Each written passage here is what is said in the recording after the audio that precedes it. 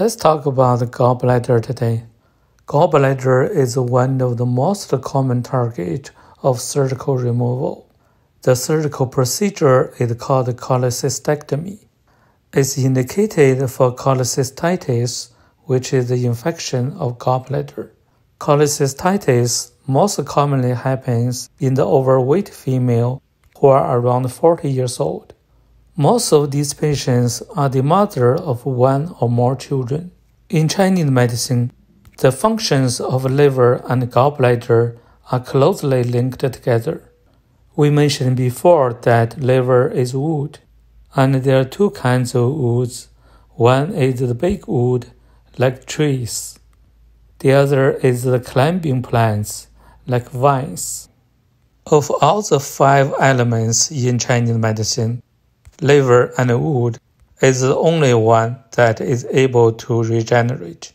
In modern science, even though we have sequenced all of the genes in the liver cells and know most of the proteins and the lipids in these liver cells, but in science, we don't know the function of these cells.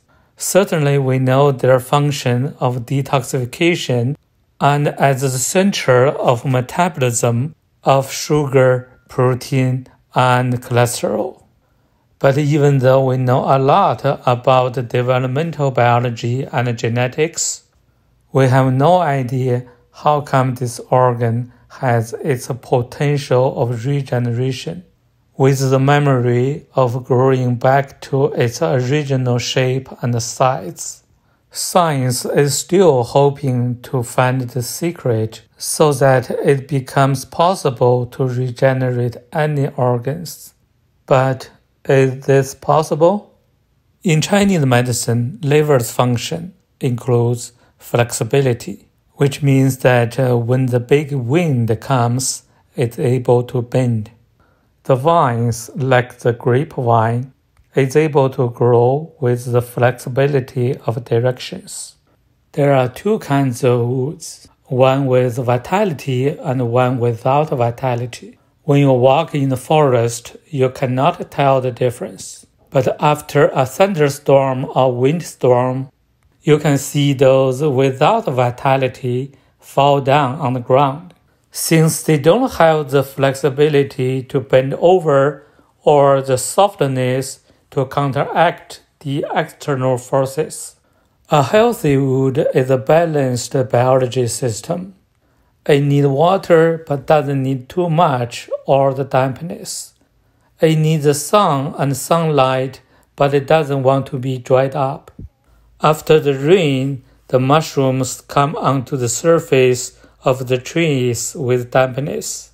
Similar in the liver, when there's dampness in it, there is fatty liver, gallbladder stones, liver tumor, and even liver cancer. However, this kind of dampness is reversible.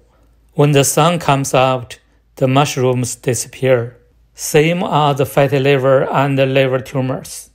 After you get benign tumor surgically removed, if you don't change the quality of the liver, the liver tumor will keep coming back.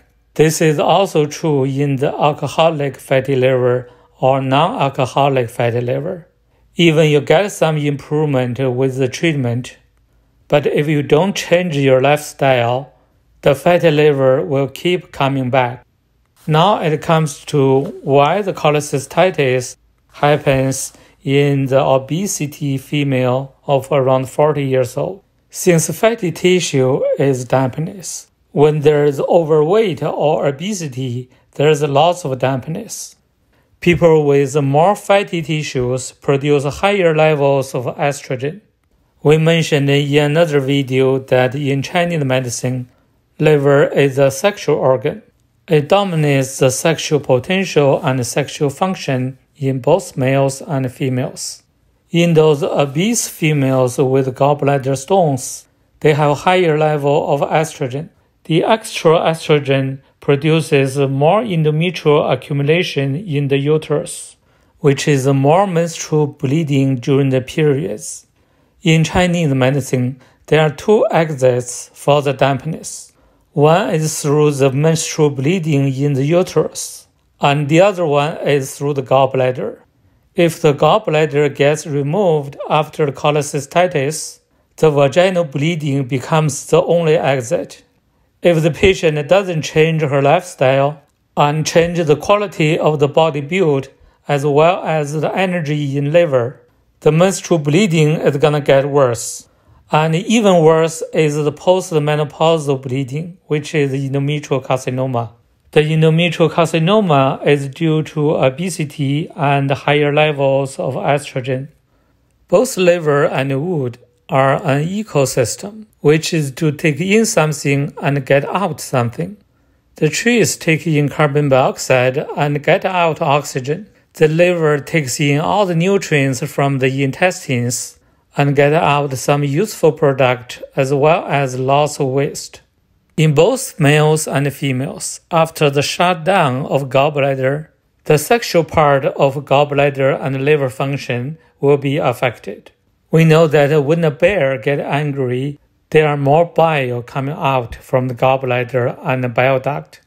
This is a way for the body to balance itself. When the emotion is extreme anger, the extra energy in the liver turn into bile to balance the body.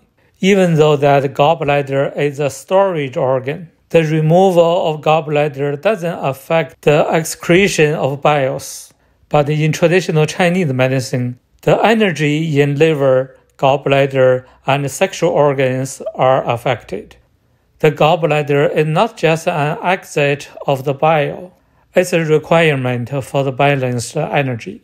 Today we discuss the gallbladder, cholecystitis, and cholecystectomy. Thanks for watching and listening. See you next time.